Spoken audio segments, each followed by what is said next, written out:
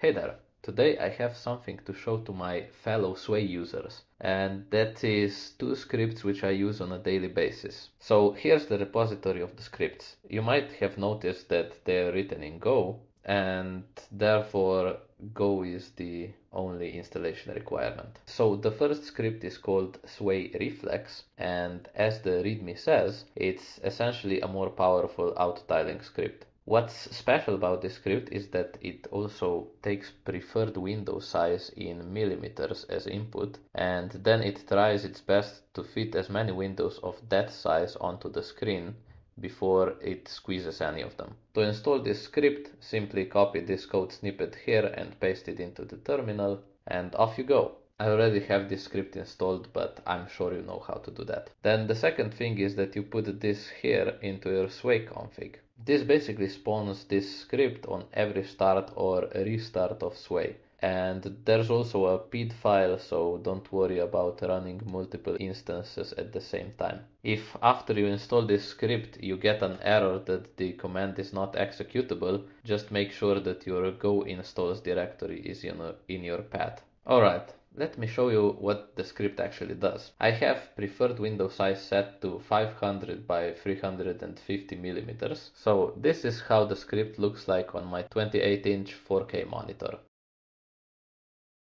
And this is how it looks like on ultra wide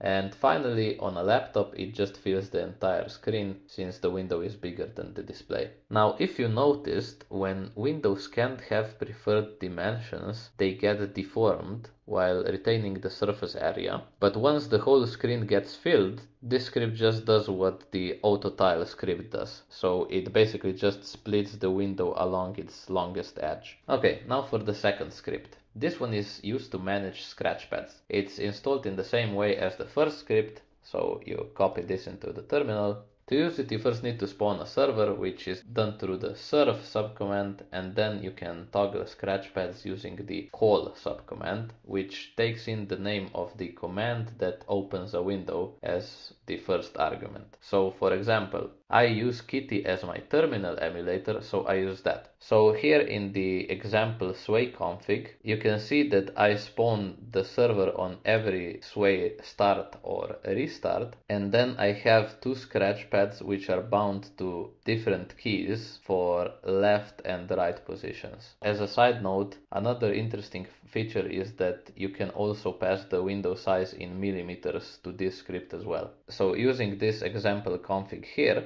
this is how the scratch pads look like on different monitors. So this is 28 inch 4K and then ultra wide and finally the laptop screen. Now, there are a few caveats to using these scripts though. First, window sizes in millimeters are just a tiny bit off since Sway returns the pixel screen size without the panel, like WayBar or SwayBar. I haven't found a way to fix that yet, and then the second caveat is that these scripts were written in a bit of a hurry, so there might be bugs. One bug which I already found is that Scratchpad server seems to hang from time to time, which seems to be an issue with the GoSway client, but I haven't really had the time to look into it yet, unfortunately. But if you find the issue, please let me know. Other than that, I've been using these scripts for quite some time now and they seem to work as expected expected most of the time, so I'm pretty happy with how they turned out. Let me know what you think and have a good day. Bye!